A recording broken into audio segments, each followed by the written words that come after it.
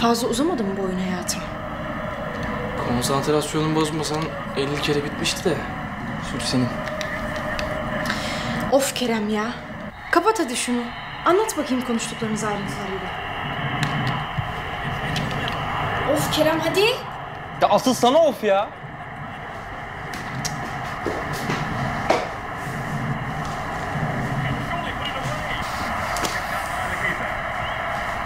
Ne yapıyorsun sen ya? En heyecanlı yerinde kapattın. Evet. Biraz gerçek dünyaya dönmen gerekiyordu küçük kardeşim. Bu yüzden kapattım. Şimdi anlat bakalım. Toprağa söyledin mi Çınar'la barıştığımızı? Madem yeniden birliktesiniz, neden Çınar abi kendi söylemiyor toprağa? Ha? Bilmem. Ya da sen nasıl kabul ediyorsun bunu?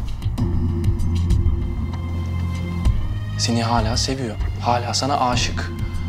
Ama başka bir kadınla, başka bir evde. Salak salak konuşma Kerem. Yani bütün gözler bizim üstümüzde biliyorsun. Sonsuza kadar böyle gitmeyecek tabii ki. Elbet bir gün ortaya çıkacak ama şimdilik böyle olmak zorunda.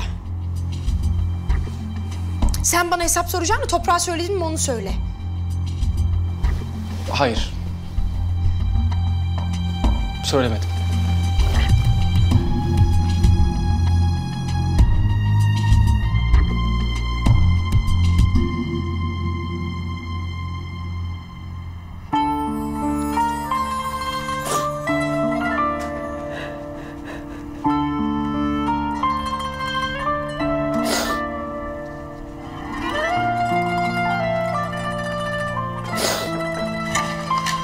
Anne şu kızına bir şey söyle. Resmen beni kullanıyor. Hayır salak gibi ben de hep gaza geliyorum sonradan dank ediyor. Anne. Anne. Ne oldu? Kötü bir şey olmuş. Belli. Yoksa sen ağlamazsın. Nasıl olsa duyacaksın hayatım. Neyi?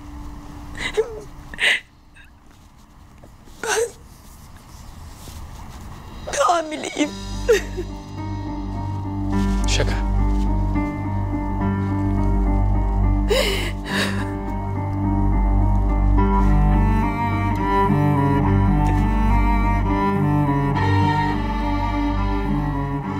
Ciddisin sen.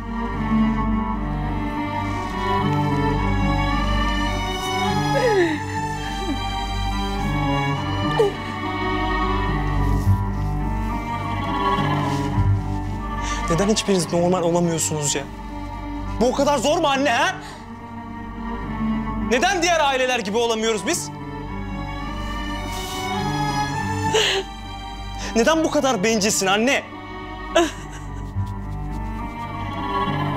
Sanki çok normal bir şeymiş gibi bir de öylece söylüyorsun ya. Ben de salak gibi kime kime şikayet ediyorsam. Allah'ım yarabbim.